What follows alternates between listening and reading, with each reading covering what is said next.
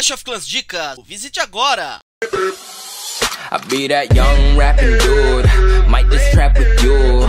Coming with the thunder, baby, might just clap it crew. I roll out. in the morning. E aí Clashers, beleza?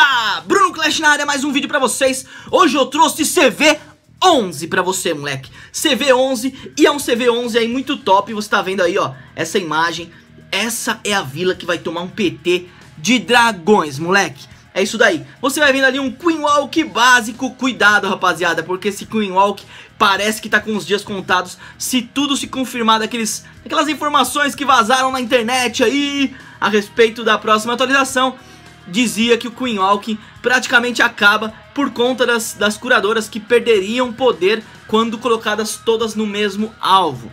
Então, esse é um, uma coisa muito delicada, vai perder muito ataque, a galera aí vai perder muito ataque porque não vai funcionar da mesma forma. Então, se insistir, muito provável que vai tomar pau. Mas surgirão novas estratégias como surgiram essa, né?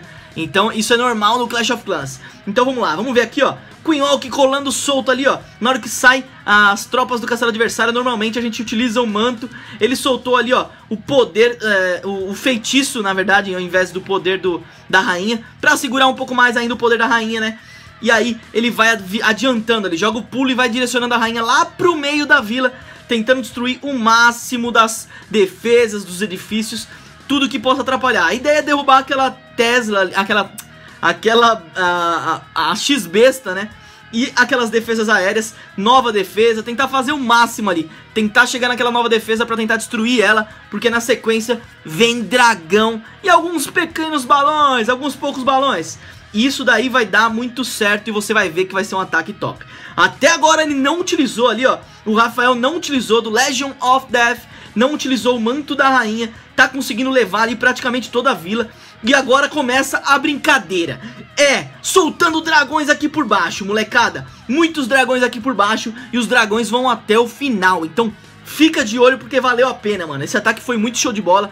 Eu gostei realmente. Até agora ele não utilizou, o Rafael não utilizou o manto da rainha.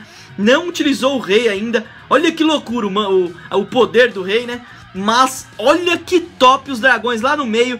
Ele conseguiu utilizar ali, ó, o poder do, do grande dirigente, grande guardião, na hora certa para proteger os, os, dragões também um pouco. E aí eles conseguiram destruir o centro da vila. Só tem ali, ó, a Torre Inferno dando, dando dano nos dragões. E aí os dragões chegando nela, aí já era. O CV vai cair agora. E aí na sequência já é Torre Inferno. Caiu Torre Inferno, moleque, é 100%. Então o Rafael já derrubou o CV, já tá derrubando a Torre Inferno. Na sequência o ventilador, secador de cabelo. E é PT fácil, moleque que, que você achou desse ataque, cara? Eu achei muito top esse CV-11 cair pros dragões, os dragões todos vivos na tela, muito top, né, mano? Olha lá, vários dragões, ali a bomba, a, a, a, armadilha correndo atrás da, dos dragões e nada. É isso daí, rapaziada. Se inscreva no canal, deixe seu like, comente, compartilhe, é nóis. Fui!